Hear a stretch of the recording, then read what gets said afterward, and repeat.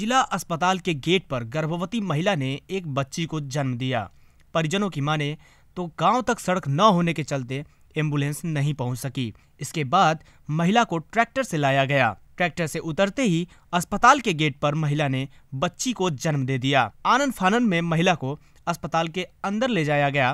फ़िलहाल जच्चा बच्चा दोनों स्वस्थ हैं। एंबुलेंस बुलाया था, वहाँ रोड खराब है, सो रोड वहाँ जा ही नहीं पाते हैं साधन।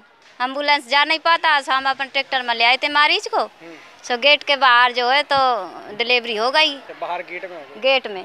क्या मानती हैं अगर रोड खराब ना होता तो एंबुलेंस वहाँ तक पहुँचती? हाँ पहुँचती जी पहुँचत रही है। तो किसको जिम्मेदार ठहरा रही हैं? अब फ़ोन करो एंबुलेंस को गई भी नहीं है। मतलब हाँ नहीं गई है। यहीं पे तो भाई ये ट्रैक्टर में ले आए थे गाड़ी गई थी चौकी तक। चौकी सब वहाँ, व्यवस्था नहीं है जाए कि इतनी बड़ी बड़ी गड्ढा है रोड खराब है तो कहाँ से जाएगी? जब नहीं पहुँच पाई वो। नहीं पहुँच पहुँच नहीं पाती वहाँ पे। इतने बड़े रोड रोड खराब है ना पूरा वहाँ पे।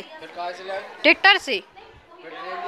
यहीं पे तो हुई है बाहर। जैसे उतारिए ट्रैक्टर से तो तुरंत नीचे हो गई डिलीवरी ये उर्मिला है वाइफ ऑफ़ चच्चू डहर्रा है। पेशेंट ये ट्रैक्टर के द्वारा आई होगी रास्ते में उसकी डिलीवरी हो गई थी। हमारे पास में जैसे ही पेशेंट आया हमने तुरंत अपनी सूचना जैसे ही आशा ने आके हमको दी हमने तुरंत अपना स्टाफ भेजा वहाँ पे।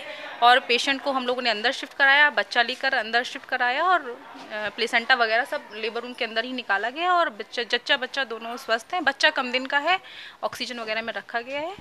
लेट आया इसलिए शायद बाहर डिलीवरी हो गई होगी ट्रैक्टर में।